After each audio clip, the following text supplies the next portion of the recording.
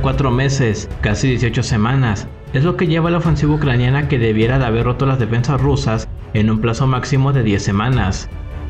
La ofensiva ha sido un éxito tan apabullante que ya hace unas semanas Milley renunció a su cargo como jefe de Estado Mayor de las Fuerzas Armadas de Estados Unidos.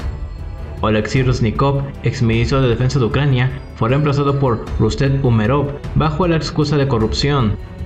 Aunque a tener de lo visto, no es difícil deducir que no solo fue por eso.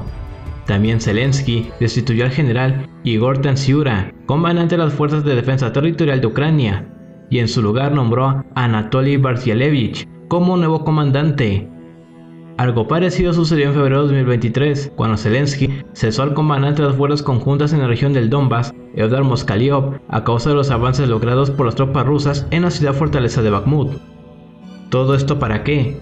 En el centro, en cuatro meses de combate y usando sus reservas, Ucrania avanzó 5 kilómetros, ganó 4 aldeas y 60 kilómetros cuadrados, mientras que en el saliente de Robotino capturó 76 kilómetros cuadrados de tierra, pero solo una aldea.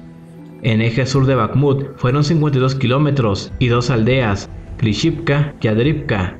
Sin embargo, Ucrania tuvo el mayor éxito en la saliente de Breviemsky, la parte menos fortificada de las defensas rusas, 243 kilómetros cuadrados y 8 aldeas. Ucrania aseguró 14 aldeas y 431 kilómetros cuadrados, menos del 1% del territorio ocupado por Rusia.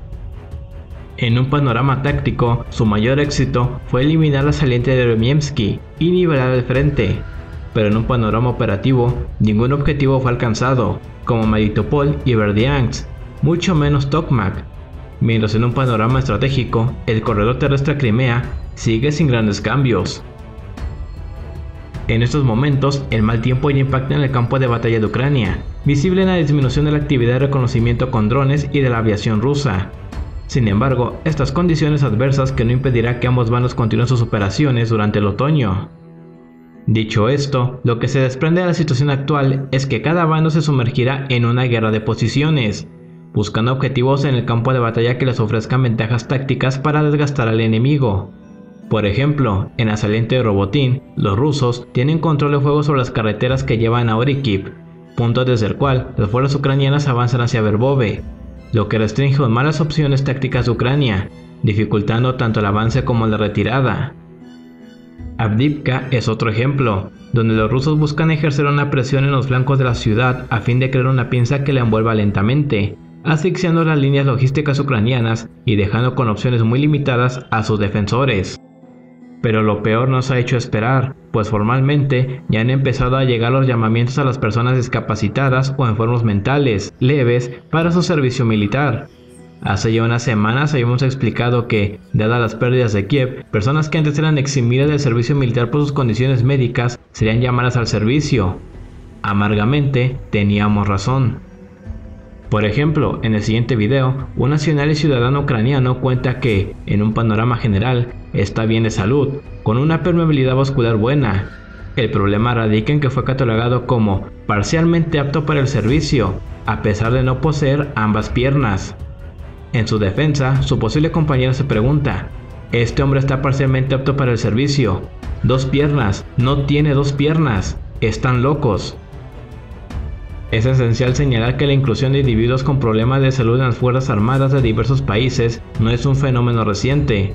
Comúnmente, estos individuos desempeñan roles administrativos. Por ejemplo, durante la Primera Guerra Mundial, oficiales que no estaban aptos para el combate en primera línea asumían responsabilidades en fortalezas y otras estructuras defensivas. Un caso destacado es el de Eugene Reynald, un oficial francés que, tras ser herido y recuperarse, se ofreció como voluntario, a pesar de sus dificultades para caminar, fue designado como comandante del fuerte Vaud durante la infame batalla de Verdún en 1916. Otro ejemplo es Israel, cuyas FDI o fuerzas de defensa cuentan con un programa para reclutar, entrenar y recibir jóvenes con autismo. Sin embargo, acá podemos encontrar varias diferencias y similitudes. En el primer caso, no estamos hablando de voluntarios, ni de un programa establecido por el ejército ucraniano desde hace ya tiempo, sino de una medida desesperada de las fuerzas ucranianas para mantener el ritmo de sus rotaciones. En el segundo caso, hablando de Francia, este país sufrió una de las mayores tasas de bajas en relación con su población total en la Primera Guerra Mundial. Por lo tal, a pesar de sus lesiones, la intensa demanda de mano de obra en el conflicto llevaba a que muchos lisiados fueran resignados a tareas administrativas o de apoyo lejos del frente de batalla, en función de la gravedad de su condición y su capacidad para adaptarse a roles no combativos, dado que aquellos que antes estaban en labores administrativas fueron llamados al frente. Se estima que alrededor de 1,4 millones de franceses murieron y muchos más resultaron heridos, esta pérdida masiva de vidas, especialmente de jóvenes en edad reproductiva, tuvo un impacto duradero en la demografía francesa, ralentizando el crecimiento poblacional. Esto en el campo demográfico, pues en el campo político trajo consigo un aumento en la polarización política, con un resurgimiento de movimientos de extrema derecha, como la Acción Francesa y de extrema izquierda. También, dada la masiva cantidad de bajas sufridas en la Primera Guerra Mundial, Francia adoptó una mentalidad defensiva en la interguerra, lo que hizo que el Estado francés fuera reacio a movilizar completamente su ejército o prepararse para una guerra total en los años previos a la Segunda Guerra Mundial. Esto sustenta más la hipótesis que habíamos expuesto mucho antes de la batalla de Bakhmut, donde se proponía que la guerra de Ucrania era una guerra de desgaste, en la que Rusia busca debilitar o agotar a Ucrania a lo largo del tiempo mediante batallas de desgaste, más que en batallas decisivas como precisamente se busca en una guerra de movimientos. Algo consecuente con los objetivos estratégicos planteados por Rusia al inicio de la guerra, tal como desmilitarizar Ucrania. Por esto, desde su retirada de Kiev, el diseño operacional ruso, es decir, los lineamientos que rigen sus operaciones en el teatro de operaciones ucraniano, se concentraron en crear puntos decisivos en amplitud, mas no en su profundidad, en la obra Military Strategy and Very Short Introduction de A. Echeverría se destaca la relación dinámica entre los componentes principales de la estrategia, propósito, método y medios. La guerra de desgaste, con su enfoque en infligir bajas y agotar al enemigo, se pueden ver como una interacción compleja de estos componentes. Desde una perspectiva técnica, si consideramos que el núcleo esencial o centro de gravedad de Ucrania es su ejército, y que el objetivo estratégico de Rusia es debilitarlo, entonces las acciones decisivas que llevan a afectar ese centro de gravedad serían batallas de desgaste. Para Rusia, el ritmo de avance no es la prioridad, lo esencial es someter a Ucrania a una guerra de desgaste, el propósito, de tal manera que, al alcanzar sus objetivos, Ucrania no tenga recursos para continuar la lucha. La estrategia rusa parece ser avanzar y retroceder lentamente, forzando a Ucrania a defender o atacar un frente amplio, este es el método. Si hay retrocesos, se aseguran de que estos tengan un alto costo para Ucrania. Precisamente por esta razón, Rusia se encuentra en una zona de confort, ya que, por ejemplo, en el saliente Robotín, las tropas ucranianas, ya sea como refuerzos o reemplazos por unidades que han sufrido bajas, siguen llegando al frente. A esto lo llamamos en un inicio como una guerra de desgaste a domicilio, donde Rusia tiene la ventaja, dada su superioridad en armamento, principalmente artillero, lo cual vienen a ser los medios.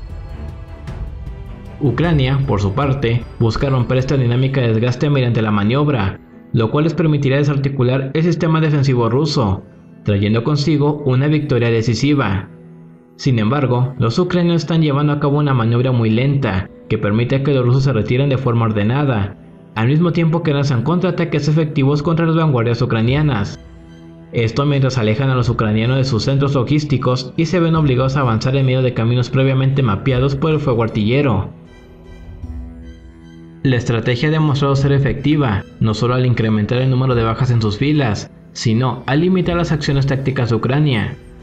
Un claro ejemplo de esto es la 47 Brigada Mecanizada, una de las unidades élites de Ucrania que lideraba la ofensiva, esta brigada ha experimentado pérdidas tan significativas que se ha visto obligada a retirar a la mitad de su personal con el propósito de reestructurar y reequipar la unidad tras los combates intensos.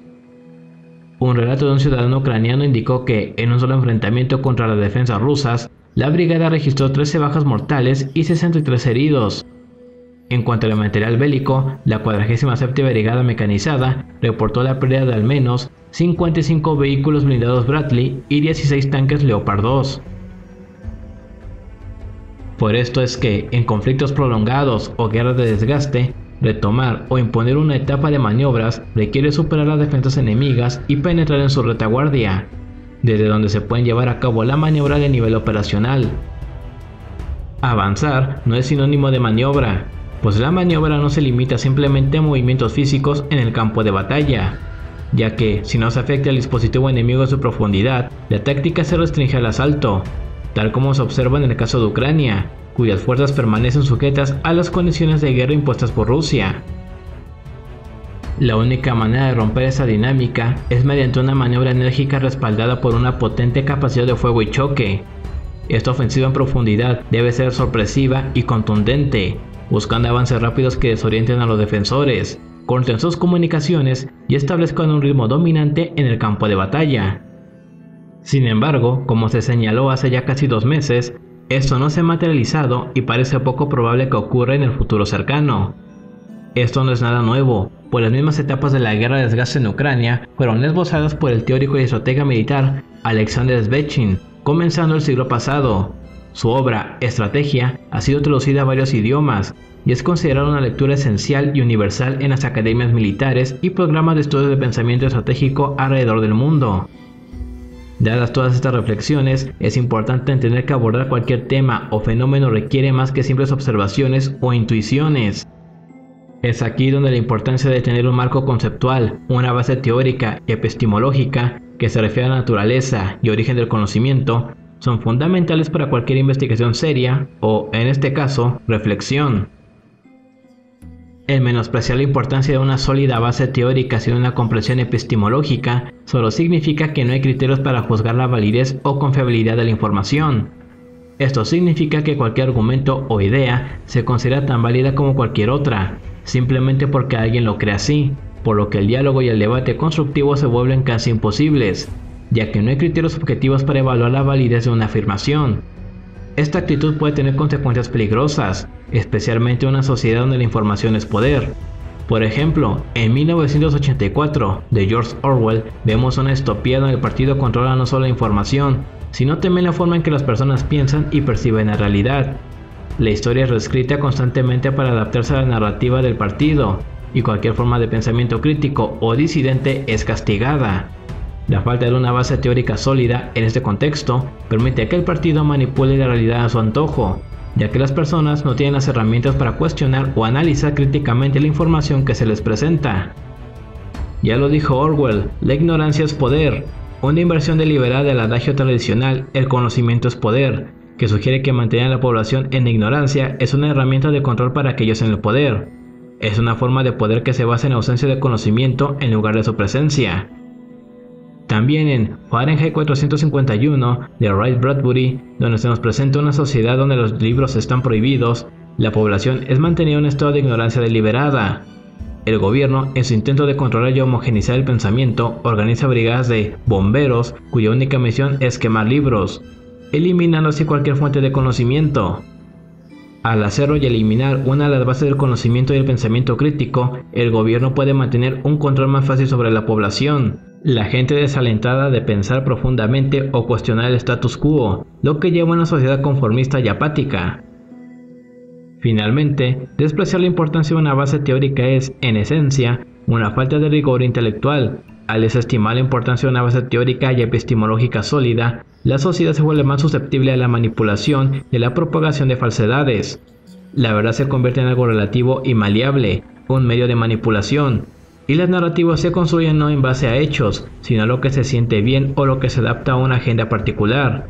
En el caso de Ucrania, vemos cómo la falta de una estrategia clara y una comprensión profunda de la naturaleza de la guerra ha llevado a avances tácticos, pero a fracasos estratégicos con una perspectiva irreal del resultado de la guerra.